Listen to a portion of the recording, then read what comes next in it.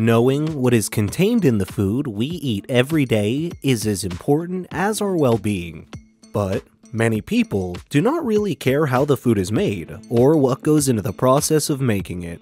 People eat for pleasure or because they're hungry. If you take time to see the method employed in cooking that new favorite dish of yours, then you might consider ditching the meal out of disgust.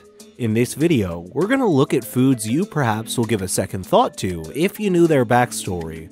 Before we get started, do not forget to like this video and subscribe to the channel for more exciting content. Casu Marzu is a traditional Sardinian sheep milk dish. Maggot cheese has been around for centuries, and to some, the cheese is so gross that it should be outlawed. The literal translation is rotten cheese, where the process of production is considered a process of finely metered fermentation. Larvae from flies are deliberately introduced to the cheese to promote an advanced level of fermentation and break down the fat contained in the cheese. The texture of the cheese becomes very soft over time, with liquid dripping out. There would be no Casu Marzu without maggots, and you could call it the world's most dangerous cheese. Marketing it or serving it in restaurants is illegal because Casu Marzu is not for sale and a 2002 enforced regulation made production and sales of the rotten cheese illegal.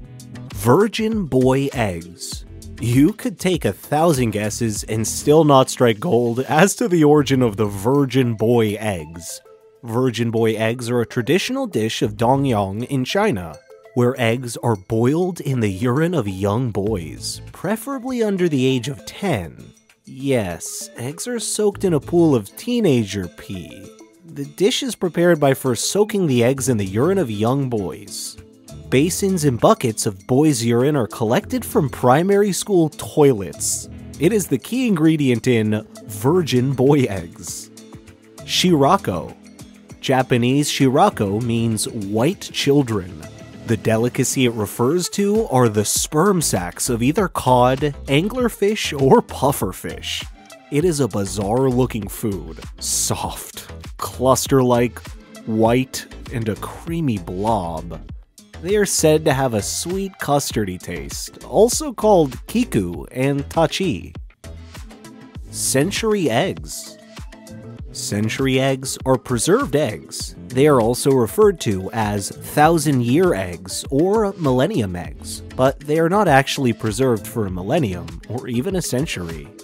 The process takes anywhere from a few weeks to a few months, as the century egg is made by preserving an egg, usually from a duck, that the shell becomes speckled, the white becomes a dark brown gelatinous material, and the yolk becomes deep green and creamy.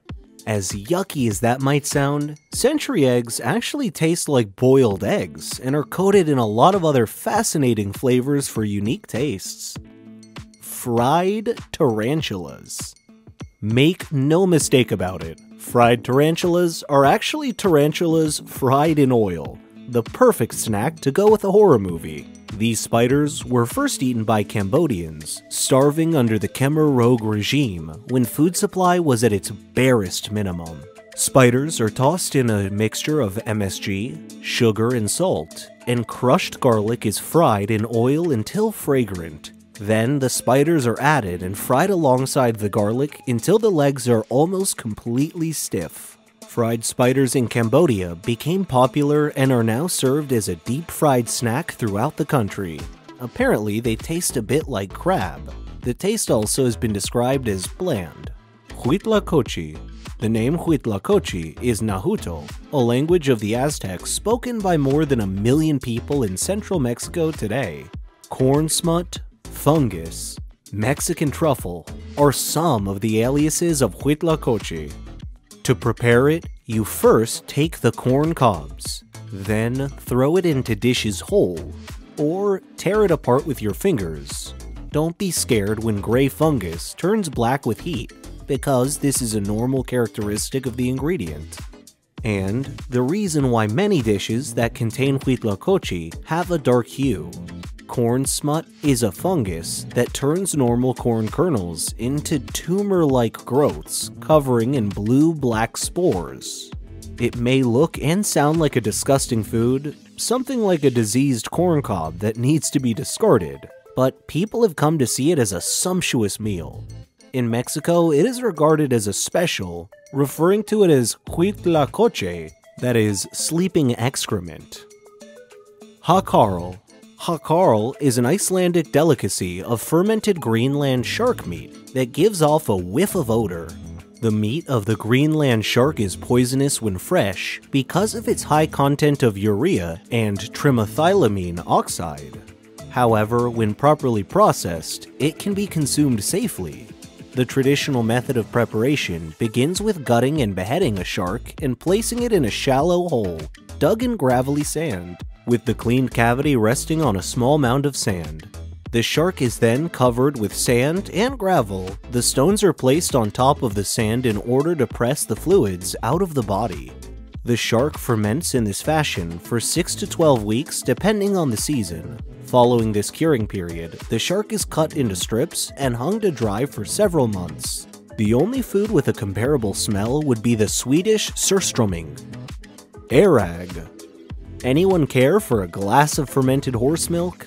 Airag is a popular beer drink in Mongolia. Horses are common sights in Mongolia, and the milk of this precious beast has attained gold status.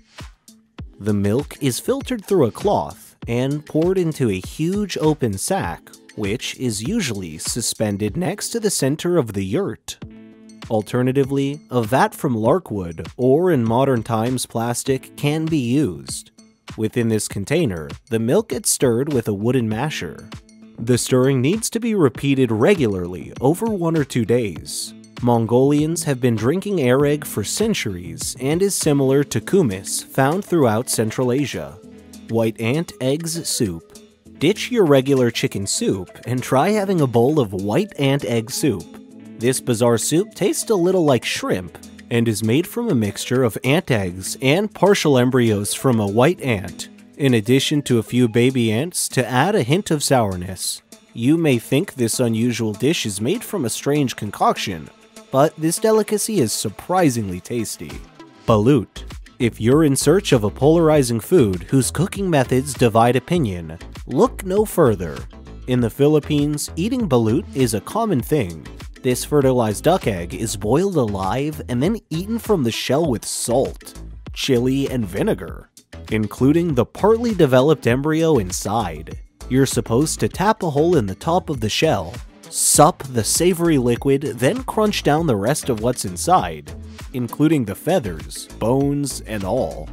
It is not surprising that Filipino balut might not sound appealing, but it is a duck egg special for a reason.